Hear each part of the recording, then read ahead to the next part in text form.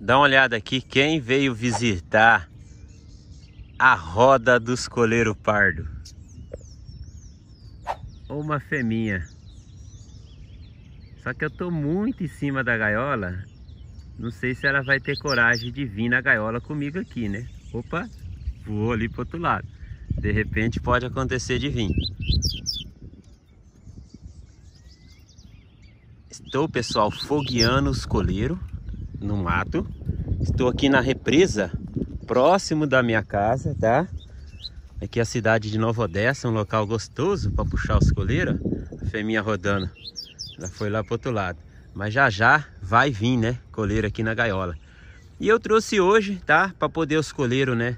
Tá fogueando no mato, fogueando, é, vendo fêmea, fogueando com o outro, aprender a cantar na cara dos outros.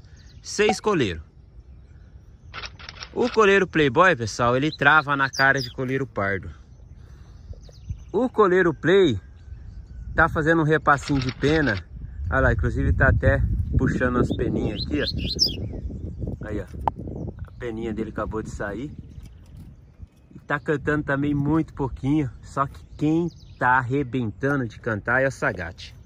Sempre tem um diferenciado nos meios, né? Sempre tem um coleiro que ele é o que destaca mais, não tem boca. Isso é normal em qualquer comunidade, em qualquer família, em qualquer local, sempre tem o dominante. E o dominante está sendo, né, o coleiro Sagat.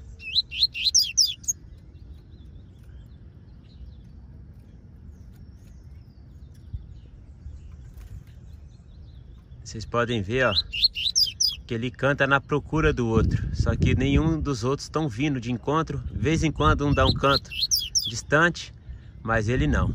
Ele está naquela pique, naquela retomada, cantando e muito. Cantando e muito. Ô Devaneiro, e os outros colheiros vão virar cheba? Não, pessoal.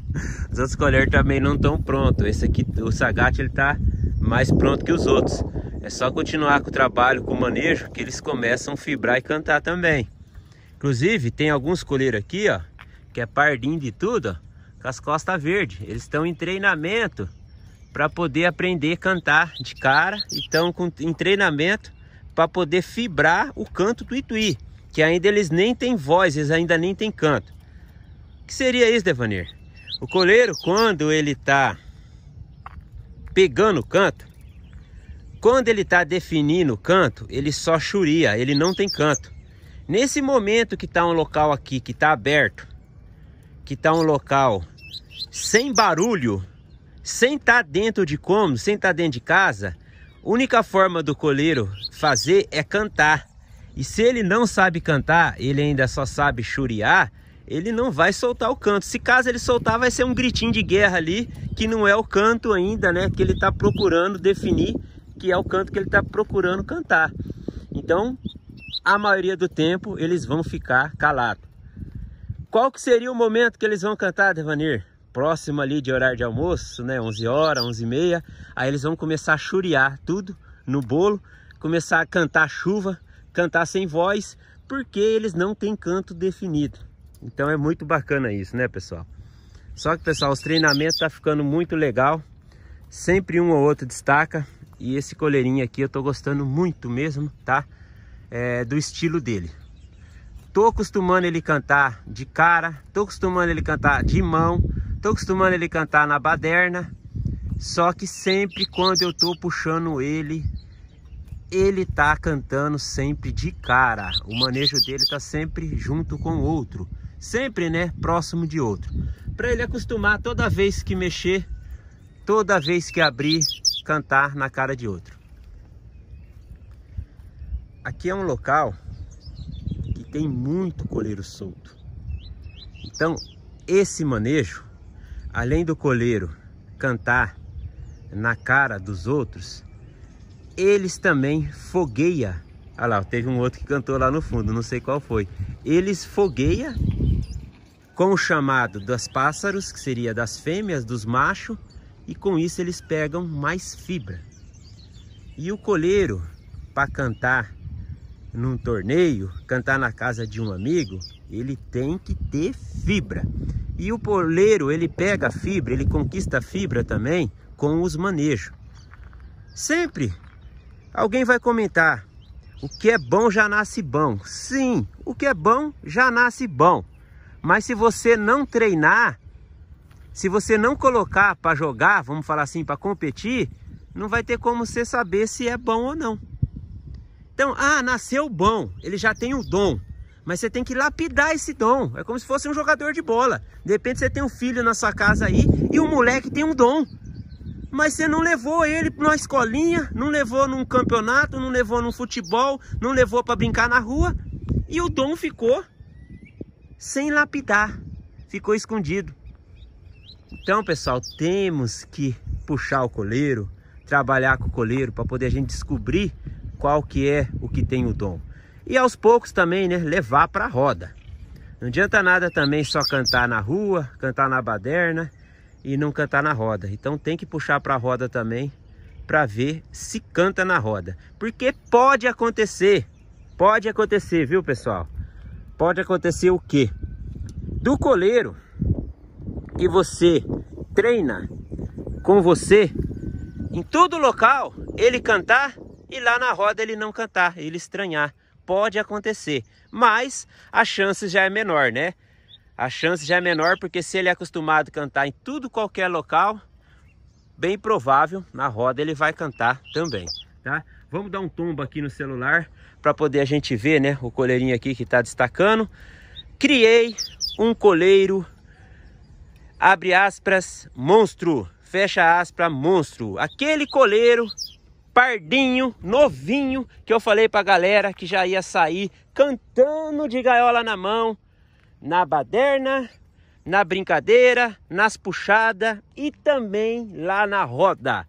Lá na roda ainda a gente não sabe porque não foi puxado, mas esse ano vamos puxar e vamos ver se vai cantar. Cantar vai. A questão é acostumar, pegar ritmo de roda e render na roda. Aí é outra história. Mas tudo tem, né, um começo. E esse está sendo o começo. Então tá aqui, pessoal, ó, coleiro Sagate, né? Tá destacando muito mesmo. E tá cantando bastante. E eu acredito que esse coleirinho, tá? É, vai cantar em qualquer puxada, porque é um coleiro que ele é muito cantor. Canta demais, demais da conta. Só que era um coleiro muito arisco, arisco demais. E ele está acostumando tanto comigo, de tanto eu puxar ele, de tanto eu fazer os passeios com ele. Então ele está ficando mansinho, tá cada vez cantando mais mesmo de gaiola na mão. E com isso, pessoal, pode ter certeza onde levar vai cantar, porque os coleiros gostam disso. Eles gostam de passear, eles gostam de passeio, eles gostam de manejo, eles gostam de puxada. Quanto mais você anda com o seu coleiro, quanto mais você passeia com o seu coleiro, mais canta ele joga pro alto. Canta, filho, canta. Olha o branquinho guerreiro lá, pessoal, lá embaixo, porta aberta. Guerreiro tá lá, empoeirado, galera do céu, vocês não tem noção. É dois dias seguidos fazendo esse manejo pro mato. E o carro ficou daquele jeito. Daquele jeito tudo sujo, tudo sujo.